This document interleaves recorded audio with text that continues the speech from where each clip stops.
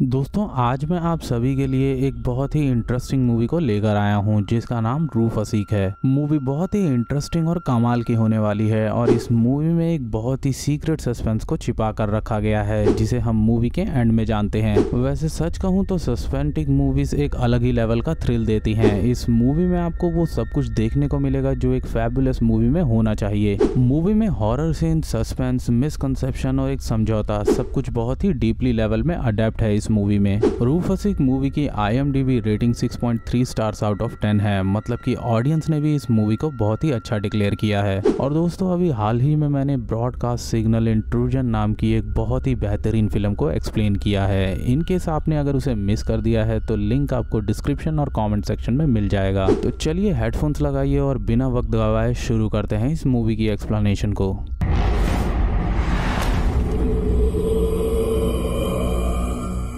तो मूवी के starting scene में जहाँ हम जारा और उसकी बेटी अमायरा को देखते हैं, जो कि नमाज़ पढ़ रही होती हैं। मीनवाइल अचानक से कोई उस रूम में एंटर होता है और वो जारा की गर्दन को काट देता है। तभी उसका हस्बैंड अकबर और अमायरा दोनों वहाँ पर पहुँचते हैं, लेकिन तब तक जारा की डेथ हो चुकी होती है।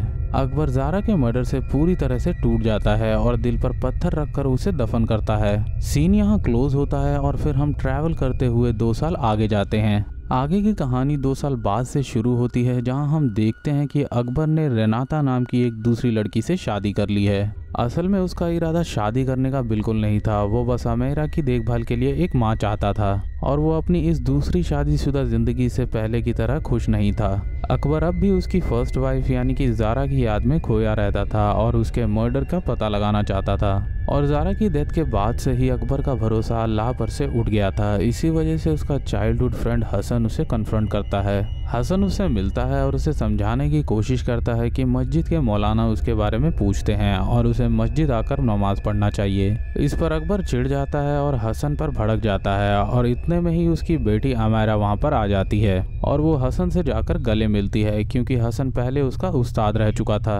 अब यहाँ पर अकबर ने अमेरा को भी मस्जिद जाने से मना कर दिया था लेकिन वो आमायरा को हसन से पढ़ने की इजाज़त दे देता है। खैर, इसके बाद हसन वहाँ से चला जाता है और अगले सीन में हम अकबर की सेकेंड और प्रेजेंट वाइफ रेनाता को देखते हैं। रेनाता अपने रूम में सोने वाली होती है कि तभी बाथरूम का दरवाज़ा अपने आप खुल जाता है। दरवाज़ा खुलने की आवाज़ सुनकर वो बाथरूम के अंदर चेक करने के लिए जाती है कि आखिर वहाँ पर कौन है। तभी उसके करीब से अकबर गुजरता है और उसे सोने के लिए कहता है। रेनाता अभी बाथरूम में ही थी कि तभी उसके फ़ोन पर एक टेक्स्ट रिसीव होता है, जो कि अकबर ने उसे मैसेज भेजा था कि उसे आने में वक्त लगेगा। ये देखकर रेनाता कंफ्यूज हो जाती है कि उसने अभी तो अकबर को देखा था और वो तेज़ी से बेडरूम की तरफ़ भागते हुए आती है, लेकिन अकबर उसे कहीं भी दिखाई नहीं देता। अगली सुबह रेनाता अकबर से ब्रेकफास्ट करते हुए कल रात के इंसिडेंट को डिस्कस करती है और उसे ये भी बताती है कि कल रात को अकबर को उसने देखा था और उसी समय अकबर का मैसेज भी आया। रेनाता अकबर को वो मैसेज दिखाने लगती है, लेकिन वो मैसेज उसके फ़ोन से गायब था। अब यहाँ पर अकबर उसे उसका वहम बताकर उस बात को नज़रअंदाज कर देता है। अब यहाँ से सीन शिफ्ट होता है और अकबर का फ्रेंड हसन मौलाना अभी से अकबर की कंडीशन के बारे में डिस्कस कर रहा होता है कि अकबर अंदर से एकदम टूट गया है। अकबर का भगवान पर से भरोसा ही उठ गया है। और यहाँ पर अभी उसे सलाह देते हैं कि वो समय समय पर अकबर का हालचाल पूछने जाता रहे।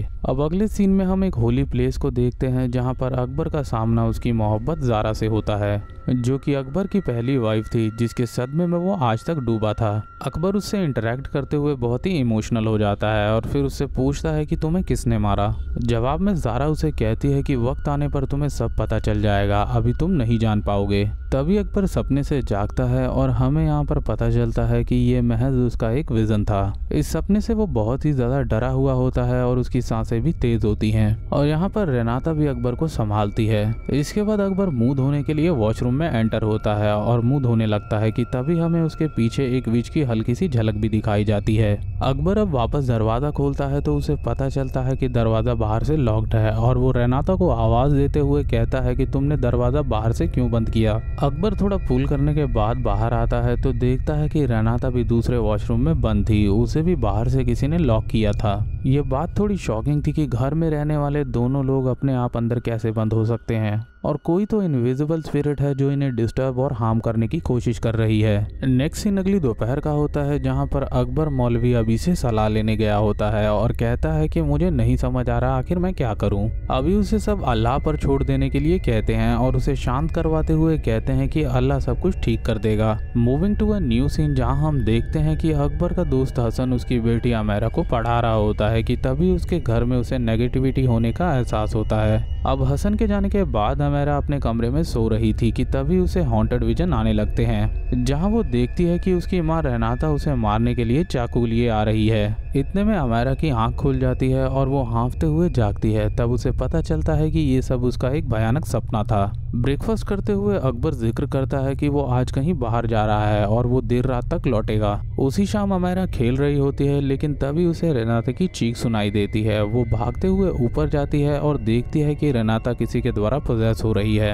ये देखकर अमेरा डर जाती है और फ़ौरन हसन को कॉल करती है, जिसके बाद हसन सीधा घर पहुँचता है और सीधा रेनाता के कमरे में जाता है, जहाँ उसे पता चलता है कि रेनाता की बॉडी किसी डेविल ने पोजेस की हुई है। वो डेविल रेनाता के अंदर से बोलता है कि मुझे इस औरत की रूह चाहिए। इसी बीच हसन प्रेयर करता है और कुछ देर बाद रेनाता बेहोश होकर ज़मीन पर गिर जाती है। इतने में अकबर वहाँ पर पहुँचता है और हसन को रेनाता के कमरे में देखकर उसे शक भरी निगाहों से देखता है और उसे लग रहा था कि हसन उसकी वाइफ पर गंदी नज़र डाल रहा है। ये बोलते हुए अकबर हसन को घर से बाहर निकाल देता है, जिसके बाद हसन की वाइफ उससे अकबर की वाइफ की तबीयत के बारे में पूछती है, जहाँ पर वो कल रात हुए पूरे इंसिडेंट को उसे बताता है और वो अकबर के उस बिहेवियर के बाद से उसकी मदद करने से साफ़ इनकार इनकार कर देता है। लेकिन हसन की वाइफ उसे समझाती है कि आखिरकार वो तुम्हारा दोस्त है और तुम्हें उसकी मदद करनी चाहिए। सीन यहाँ से रेनाता की तरफ़ शिफ्ट होता है, जहाँ हम देखते हैं कि रेनाता किचन में बर्तन धो रही थी। कि तभी प्लेट्स अपने आप खिसक जाती हैं, जिससे रेनाता डर जाती है। तभी रेनाता को कोई पैर लगाकर नीचे ज़मीन पर गिरा देता है, जिससे रेनाता डर जाती है और अकबर से कहती है कि उसने किसी को यहाँ पर देखा है। वो उसे इस घर को छोड़कर चलने के लिए कहती है, लेकिन अकबर उसकी बात नहीं मानता और कहता है कि अगर यहाँ पर कोई भूत है तो वो सिर्फ़ तुम्हें ही क्यों दिखाई देता है? इस पर रेनाता उसे उस रात वाले इंसिडेंट के बारे में याद दिलाती है, जहाँ वो दोनों अपने आप बाहर से बाथरूम में बंद हो गए थे। खैर, रोज रात की तरह अकबर बीच में ही वहाँ से चला जाता है। इस बार हमें दिखाया जाता है कि अकबर आखिर डेली रात को जाता कहाँ था। असल में अकबर अपनी फ़र्स्ट वाइफ जारा के ग्रेवयार्ड पर जाता था, जहाँ उसकी कब्र के पास जाकर वो बहुत ही इमोशनल हो जाता है। उसे ऐसी सिचुएशन में कमल नाम का शख्स देख लेता है, जो कि उसका ही फ्रेंड था। कमल अगले दिन ये बात हसन को बताता है, जिससे हसन भी अकबर के लिए अब चिंता कर रहा था।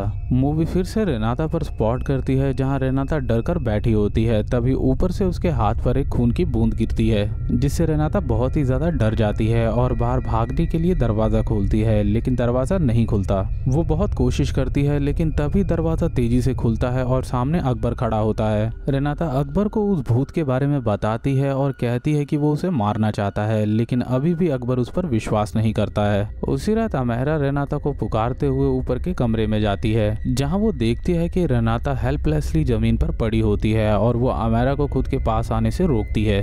अमेरा भागते हुए अपने डैड को बुलाती है और जब अकबर वहाँ पर पहुँचता है तो वो देखता है कि रेनाता किसी डेवल के द्वारा पोजेस है। अकबर रेनाता को उठाकर वहाँ से कमरे में ले जाता है, जिससे सब कुछ थोड़ी देर में नॉर्मल हो जाता है। इसके बाद अकबर मौलाना अभी के पास जाता है, जहाँ अभी उसे कहते हैं कि अगर कोई इंसान ये कहता है कि उसने भूत देखा है तो या तो वो झूठ बोल रहा है या फिर उस पर किसी बुरी शक्ति ने अपना कब्जा किया है। अब दूसरी तरफ़ हम देखते हैं कि रेनाता घर में अकेली होती है। कि तभी अमेरा उसकी तरफ़ आती है और इल्यूजनिक वे में कुछ समय के लिए उसमें उसे डेविल दिखाई देता है, जिसे देखकर वो डर जाती है। कुछ समय बाद कमल और हसन अकबर के घर पहुँचते हैं, जहाँ वो उसे कहते हैं कि तुम्हारी वाइफ रेनाता के अंदर से उस डेविल को काबू करने के लिए हमें मौलवी अवी ने भेजा है। इसके बाद रेनाता लेटी हुई होती है और हसन और कमल प्रेयर स्टार्ट करते हैं, कि तभी रेनाता जाग जाती है और कमल की गर्दन को पकड़ लेती है, लेकिन हसन अभी भी पीछे से प्रेयर्स पढ़ रहा होता है। यहाँ पर हसन उस डेविल से पूछता है कि आखिर क्यों उसने रेनाता के शरीर पर कब्जा किया है? जिसके जवाब में रेनाता के अंदर से वो डेविल कहता है कि रेनाता ने उसके साथ समझौता किया था, एक के बदले दूसरा। अब ये समझौता क्या था, ये हमें मूवी के एंड में पता चलेगा। हसन कुछ देर और प्रेयर्स करता है और रेनाता कमल की गर्दन को छोड़ देती है। और फिर कुछ देर बाद रेनाता अपने आप बेहोश होकर ज़मीन पर गिर जाती है। नेक्स्ट सीन में हम देखते हैं कि हसन मौलवी अभी को रेनाता के बारे में बता रहा था, जहाँ वो उस सौदे के बारे में कहता है और बताता है कि वो अब आगे कुछ नहीं कर सकता, जिस पर मौलवी अभी उसे समझाते हुए कहते हैं कि हमें हार नहीं माननी है। और अगर शैतान से सौदा हुआ है तो वो उसी शख्स को हानि पहुंचाएगा जिससे उसका सौदा हुआ है। बेवकूफ़ लोग ही अपने फ़ायदे के लिए शैतान से सौदा करते हैं। जिसके बाद मौलवी अभी हसन को रेनाता के पास चलने के लिए कहता है। इसके बाद अभी हसन और कमल तीनों अकबर के घर जाते हैं और वहाँ पर उसकी बीवी रेनाता से पूछते हैं कि क्या तुमने कभी किसी शैतान से कोई समझौता किया था? इस पर रेनाता हाँ में जवाब देती है और कहती है कि हाँ ये बहुत बड़ा सौदा है। अब हसन रेनाता को उस जगह पर जाने के लिए कहते हैं, जहाँ पर उसने ये सब किया था। और यहाँ पर मौलाना अभी अकबर को रेनाता के साथ रहने के लिए कहते हैं। इसके बाद अकबर और रेनाता एक पुराने से सुनसान खंडर पड़े इलाके के पास जाते हैं। जहाँ जाकर उन लोगों को एक भूतिया घर दिखाई देता है। और वो लोग उस घर के अंदर दाखिल होते हैं कि तभी रेनाता को मच्छरदानी के अंदर एक सोता हुआ कंकाल दिखाई देता है, जो कि वही डेविल था जो कि रेनाता के शरीर पर कब्जा करना चाहता था। वो उसे पकड़ लेता है और पूछता है कि आखिर उसने डेविल की बात क्यों नहीं मानी? क्यों उन लोगों को घर में नमाज़ पढ़ने दिया? तभी अकबर दौड़ता हुआ आता है, तब तक उस डेविल ने रेनाता को लगभग मार दिया होता है। अब रेनाता अपने आखिरी समय में थी और वो अकबर को उस सच्चाई के बारे में बताती है, जिसे जानने के लिए अकबर पिछले दो साल से परेशान था। यहाँ पर सबसे इंटरेस्टिंग पार्ट दिखाया जाता है, जहाँ रेनाता अकबर को कहती है कि असल में उसकी फ़र्स्ट वाइफ जारा का कत्ल रेनाता ने ही उस डेविल से कराया था। तभी हम एक फ्लैशबैक को देखते हैं, जहाँ रेनाता एक लेडी से अपनी प्रॉब्लम डिस्कस करती है, जहाँ वो बताती है कि अकबर से वो बहुत प्यार करती है, लेकिन उन दोनों के प्यार के बीच एक दीवार है और उस दीवार का नाम जारा है। और क्या जारा को किसी डेविल के द्वारा ख़त्म किया जा सकता है जिससे मेरा रास्ता साफ़ हो। इस पर लेडी उसे कहती है, रास्ता तो है, लेकिन वो रास्ता बहुत ही खतरनाक है। एक शैतान है जिसे गर्म जगहों का शैतान कहा जाता है, जिसका नाम अदनान वजीरा है। उसके ज़रिए तुम अपने मकसद को अंजाम दे सकती हो, लेकिन अंजाम के तौर पर तुम्हें भी बदले में उस शैतान को कुछ देना होगा। और अगर तुमने ऐसा नहीं किया तो वो शैतान तुम्हारे शरीर पर कब्जा कर लेगा। अकबर ये सुनकर पूरी तरह से टूट चुका था। तभी रेनाता के शरीर पर उस शैतान का कब्जा हो जाता है, जो कि अकबर को मारने की कोशिश करता है। लेकिन तभी वहाँ पर हसन और कमल पहुँचते हैं और वो प्रेयर्स के दम पर वो उस शैतान को जलाकर डिसअपियर कर देते हैं। मूवी के एंडिंग सीन में हम देखते हैं कि सभी लोग भागते हुए अकबर के पास आते हैं, जो कि बिल्कुल ठीक था। और इसी के साथ ये मूवी यहीं पर ख़त्म हो जाती है। अब दोस्तों, ये मूवी मुझे बहुत ही दिलचस्प लगी, जहाँ मैं आपको एक अंडरलाइन बात बताता हूँ। असल में रेनाता और शैतान के बीच एक डील हुई थी कि शैतान रेनाता के रास्ते के कांटे, यानी कि जारा को ख़त्म कर देगा। और बदले में शैतान चाह रहा था कि उस घर में कोई भी नमाज़ ना पढ़े। लेकिन अफसोस, रेनाता इस इच्छा को पूरा नहीं कर पाई, जिससे वो शैतान उसे भी मार देता है।